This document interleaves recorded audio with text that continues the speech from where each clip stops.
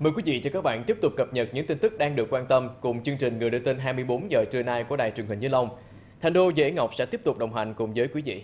Và hôm nay chương trình sẽ có những thông tin đáng chú ý sau đây. Miền Trung mưa trắng trời, Quảng Trị, Thừa Thiên Huế và Đà Nẵng đối mặt rủi ro thiên tai cấp 3.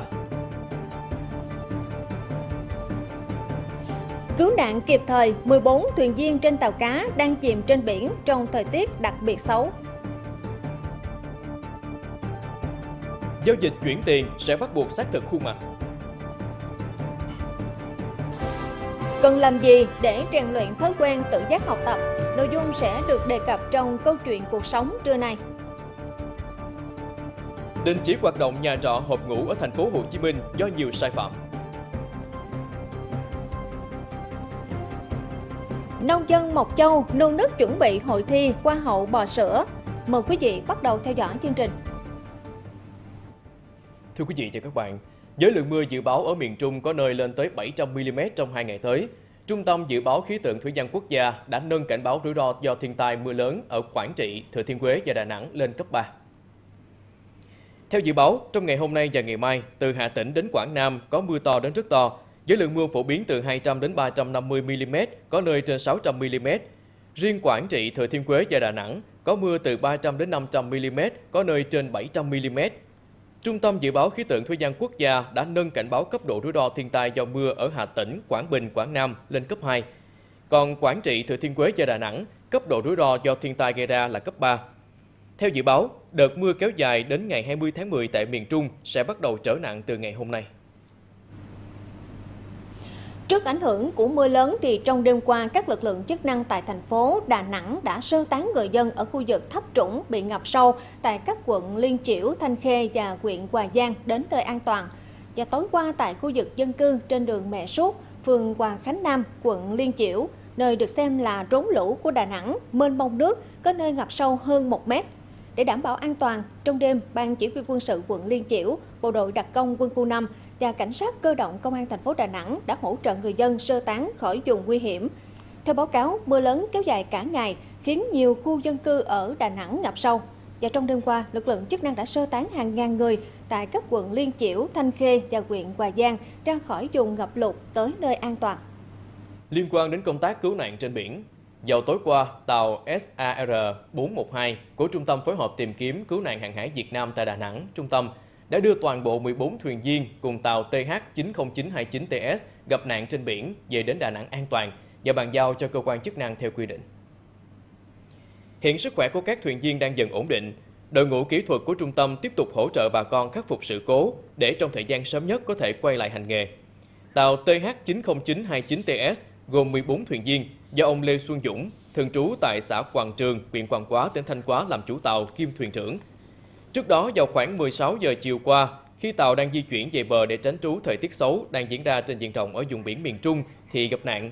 Tàu bị phá nước, nước tràn vào nhanh khiến cho tàu bị mất kiểm soát và chìm dần trong thời tiết biển khắc nghiệt, sóng cao trên 3 mét, mưa to, gió giật mạnh.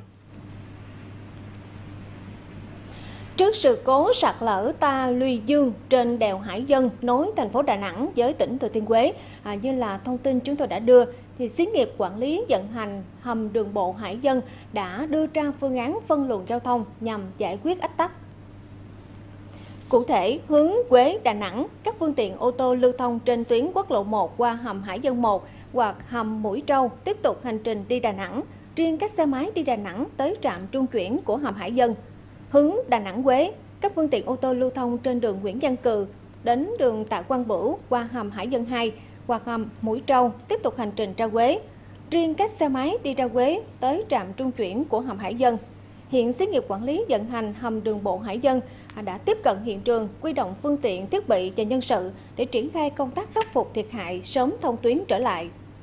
Dự kiến từ ngày 1 tháng 4 năm 2024, khi giao dịch chuyển tiền thì người thực hiện sẽ được kiểm tra sinh trắc học bằng khuôn mặt. Đây là một trong những biện pháp tăng cường góp phần đảm bảo an toàn cao nhất cho người dân khi thực hiện dịch vụ thanh toán trên môi trường số. Ngân hàng Nhà nước cho biết, cơ quan này đã nghiên cứu dự thảo, gửi các tổ chức tín dụng lấy ý kiến về biện pháp xác thực bằng sinh trắc học, thu thập dữ liệu từ căn cước công dân gắn chip. Cơ quan quản lý cũng đã có văn bản yêu cầu các tổ chức tín dụng, trung gian thanh toán khi gửi tin nhắn thông qua email, SMS đến với người dùng. Tuyệt đối không sử dụng đường link trong nội dung thông tin đó để đảm bảo an toàn. Một quy định mới đối với người sử dụng bảo hiểm y tế tại Hà Nội đó là từ ngày mai 15 tháng 10, Bảo hiểm xã hội Hà Nội dừng việc in thẻ bảo hiểm y tế giấy. Người dân khám chữa bệnh bảo hiểm y tế hoặc là lao động nhận trợ cấp thất nghiệp có thể dùng các ứng dụng điện tử thay vì thẻ giấy từ thời điểm này. Theo đó, các cơ sở y tế tại Hà Nội sẽ tiếp nhận thẻ bảo hiểm y tế trên ứng dụng VSSID, VNEID hoặc căn cước công dân gắn chip của người dân. Với thẻ giấy đã cấp trước đó còn hạn sử dụng, người dân vẫn có thể dùng đi khám chữa bệnh bình thường. Người dân chưa cài đặt các ứng dụng trên hoặc đã cài đặt nhưng chưa kích hoạt thành công VSSID, VNEID mức 2, căn cước, gắn chip, chưa đồng bộ với dữ liệu trên hệ thống, có thể liên hệ cơ quan bảo hiểm xã hội gần nhất để được hỗ trợ.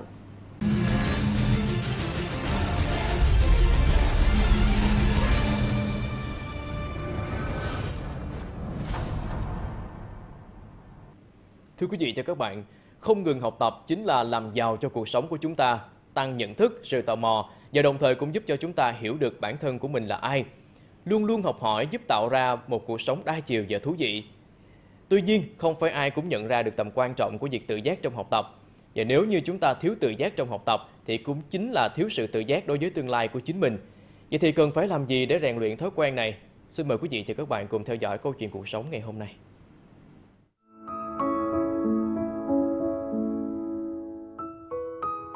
Học tập là một quá trình không ngừng nghỉ và học hỏi là việc làm suốt đời của con người. Kiến thức là vô hạn, không ai có thể nắm được tất cả những tri thức. Vì vậy, bất kỳ ai muốn phát triển bản thân, sự nghiệp thì đều cần phải học để luôn vươn đến những giá trị tốt đẹp trong cuộc sống. Tuy nhiên, không phải lúc nào chúng ta cũng ghi nhớ điều này, thậm chí đôi khi có người còn thờ ơ với việc học, nhất là tự học. Đôi khi trong việc học thì em không có tự giác để làm bài, thiếu sự chủ động. À, thầy cô giao bài tập về thì mới làm thôi, cũng không có tự giác để mà tìm hiểu thêm ở ngoài nữa. Cho nên là những cái việc này thì em đang cố gắng để khắc phục. Ra cũng không có tự giác trong việc học tập lắm. Ờ, mình tại vì mình đã đi làm rồi, mình nghĩ là những cái kiến thức mà mình đã học, mình đã biết, mình đã có nó đã đủ với lại công việc của mình rồi mình quên hẳn là việc phải cập nhật những cái kiến thức mới để mà nâng cao cái chuyên ngành của mình. Vì thế mình rơi vào trạng thái áp lực chật vật. Khi mà không đáp ứng được cái nhu cầu công việc của mình mình đang cố gắng để thay đổi bản thân trong việc tự giác học tập. Thế giới xung quanh chúng ta đang ngày càng thay đổi với tốc độ vô cùng nhanh chóng. Nếu không tự giác học tập và bắt kịp với tốc độ này, thì chắc hẳn sẽ sớm bị bỏ lại phía sau. Đây chính là lý do tại sao phải tự giác học tập và phát triển bản thân hãy luôn đặt ra các câu hỏi vì sao và tìm cách lý giải nó, học tập không ngừng, lắng nghe người khác để mở rộng vốn kiến thức của mình. Đối với những người thành công trong cuộc sống, trong công việc và trong mọi mặt của xã hội thì chúng ta thấy là cái việc chủ động và cái việc tự giác đó là cái điều ưu tiên hàng đầu. Khi mình thiếu tự giác trong học tập thì mình biết rồi, điều đầu tiên đó là mình thụ động. Tiếp đó là chúng ta thấy là chúng ta không có được cái cái gốc nhìn của chính chúng ta. Rồi chúng ta cũng không có được cái mối quan hệ khi chúng ta cứ co cho mình trong một cái khuôn khổ nào đó. Chúng ta không có tiếp thu được tri thức, chúng ta không định hình được mục tiêu, không định hình được cái ước mơ, cái lý tưởng của mình. Ở những cái hệ quả sâu hơn là chúng ta thấy là bản thân chúng ta thụt lùi so với xã hội. Cái tri thức chúng ta ngày càng chúng ta ngắn lại trong khi xã hội ngày càng phát triển.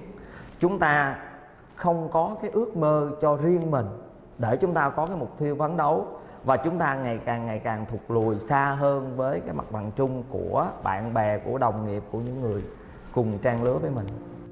Tự giác học tập sẽ giúp bạn trở thành phiên bản tốt nhất của chính mình. Để đạt được điều ấy, mỗi người cần bắt tay vào hành trình tự khám phá và phát triển bản thân, nhìn lại chính mình, lên kế hoạch học tập chi tiết, khoa học và kiên trì thực hiện nó. Không ngừng học tập mang lại chúng ta rất nhiều những cơ hội về tài chính, sự thăng tiến trong công việc từ đó nâng cao chất lượng cuộc sống vật chất lẫn tinh thần. Bất kể tuổi tác và hoàn cảnh như thế nào, hãy chắc chắn rằng việc học của chúng ta sẽ không bao giờ dừng lại. Bởi vì dù xuất phát điểm ở đâu, trở thành người như thế nào và có cuộc đời ra sao phụ thuộc rất lớn vào tinh thần tự giác học tập. để đi đến được đây thì rõ ràng mình phải nỗ lực học tập ở nhiều nơi từ nhiều người thậm chí là bên ngoài có môi trường về trường lớp của cuộc sống xã hội à, thậm chí là mình phải học lại từ những người học trò của mình. Về giá trị thì tôi chắc chắn một điều là nó mang lại rất là nhiều giá trị cho bản thân những cái người ờ, có khả năng tự học. Các bạn biết là học ở trường lớp thì ờ, thật ra nó không có đủ đâu. Trong cái bối cảnh mà kiến thức của kiến thức của thế giới nó phát triển cả về chiều rộng lẫn về chiều sâu thì cái việc học bên ngoài á nó giúp chúng ta mở rộng những cái tầm hiểu biết và mang lại những cái giá trị khác biệt cho một người nào đó. Ờ, để bắt đầu tự giác thì điều đầu tiên là chúng ta bỏ đi cái cái thói quen, cái điều không tốt về cái trì hoãn. Cái này là cái thường kéo chúng ta lại. Cái thứ hai, đó là chúng ta chủ động xác lập những công việc, phần việc của trong của chúng ta mỗi ngày như vậy nè. Và cái thứ ba, đó là chúng ta hành động, thực thi nó và cái thứ tư, đó là sau khi hành động, sau khi thực thi, chúng ta cảm thấy nếu nó chưa tốt thì chúng ta hoàn thiện. Nếu nó chúng, tốt rồi thì chúng ta cố gắng phát triển nó.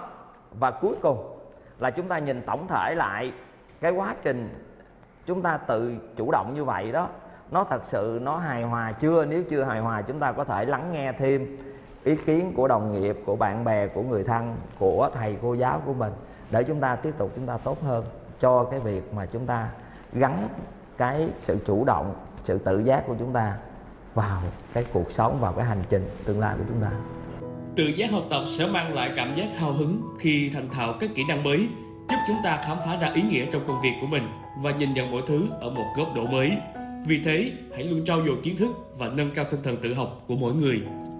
Nhân thưa quý vị, để có thể có được một cuộc sống trọn vẹn, chúng ta cần không ngừng học hỏi và đón nhận những thách thức mới.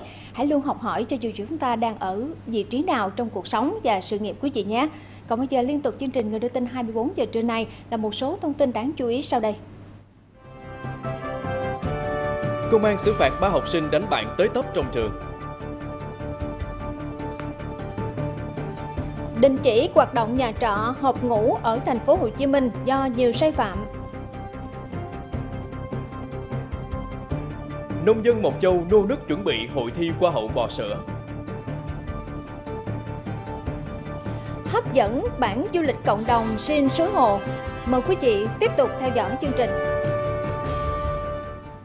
Như tin chúng tôi đã đưa, chỉ đi ngang qua và nhìn vào lớp học khác trong ngày khai giảng năm học mới, một nam sinh lớp 10 trường Trung học phổ thông Nguyễn Công Trứ, thị trấn Phước An, huyện Rông Bắc, tỉnh Đắk Lắk đã bị ba bạn học cùng khóa dây đánh tới tấp ngay trong trường.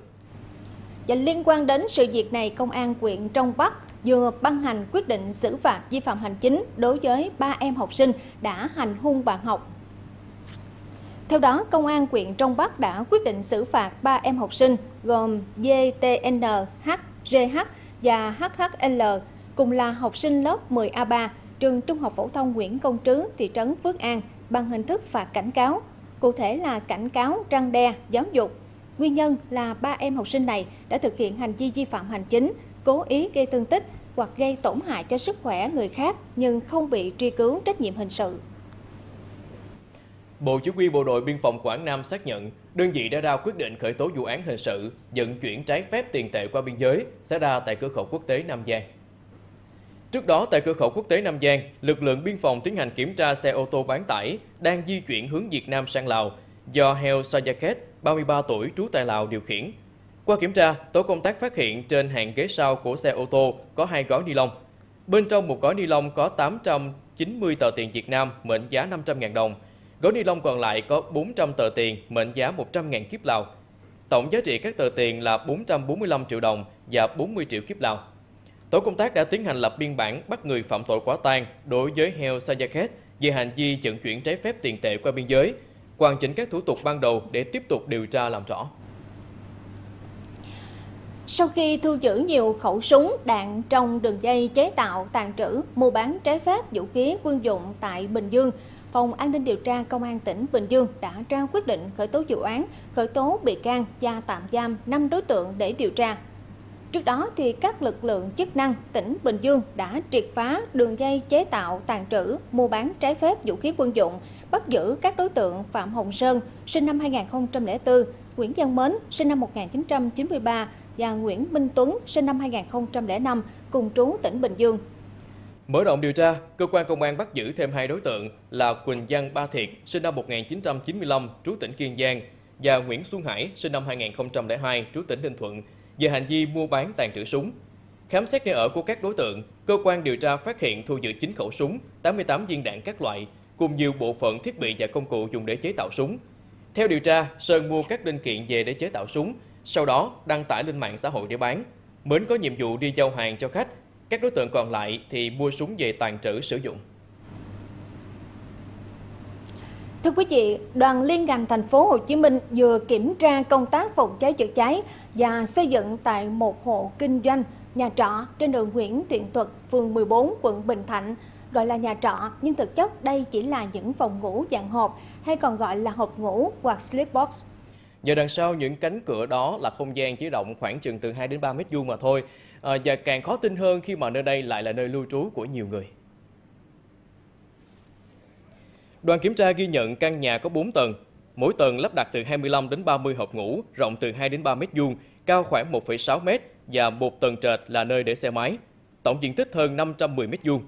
Những hộp ngủ được thiết kế bằng nhôm, bên trong chỉ vừa cho một người ngồi hoặc nằm. Các hộp ngủ được xếp chồng lên nhau và lối đi cũng chính là lối thoát hiểm duy nhất của những người lưu trú. Người thuê cho biết giá thuê hộp ngủ này là 2,2 triệu đồng một tháng. Theo đoàn kiểm tra, mô hình này quá nhỏ, không đảm bảo diện tích và công tác phòng cháy chữa cháy. Cơ quan chức năng cũng đã đánh giá cơ sở này vi phạm nghiêm trọng về công tác phòng cháy chữa cháy như lối thoát nạn, hành lang thoát nạn, các thiết bị hệ thống phòng cháy chữa cháy đều không đạt chuẩn nên thống nhất tạm đình chỉ hoạt động cơ sở này để có hướng xử lý.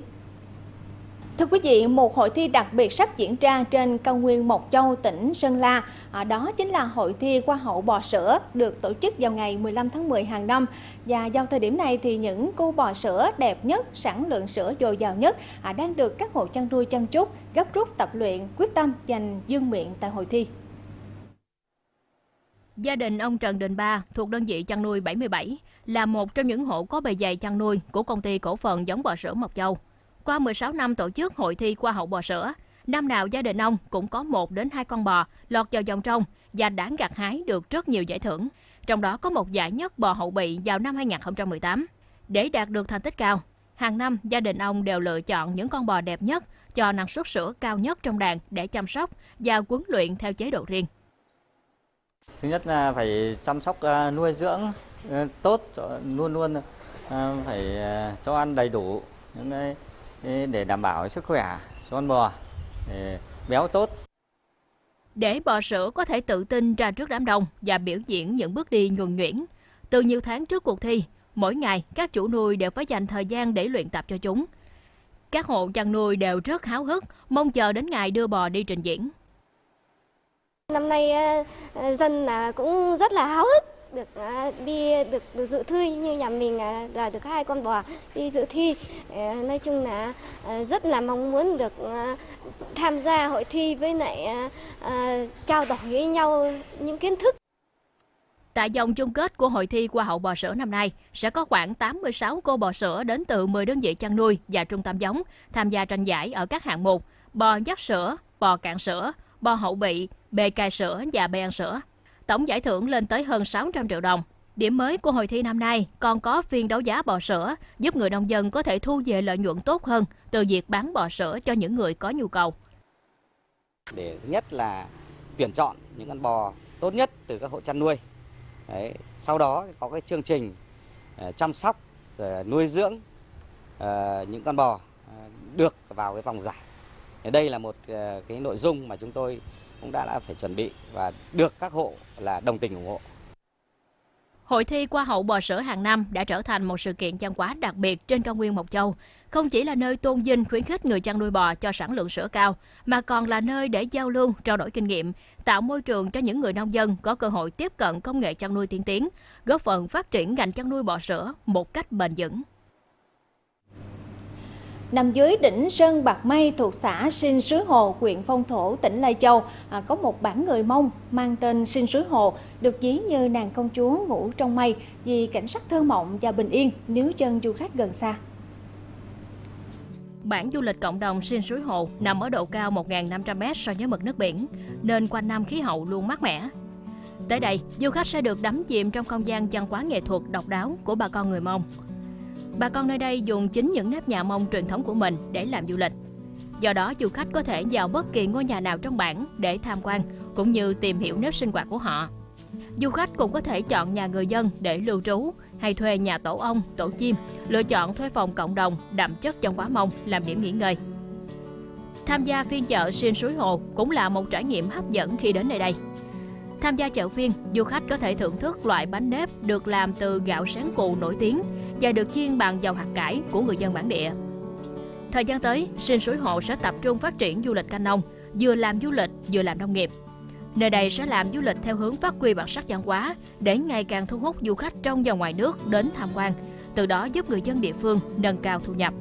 Đến đây chúng tôi xin kết thúc chương trình Người đưa tin 24 giờ trưa nay của Đài truyền hình Vĩnh Long.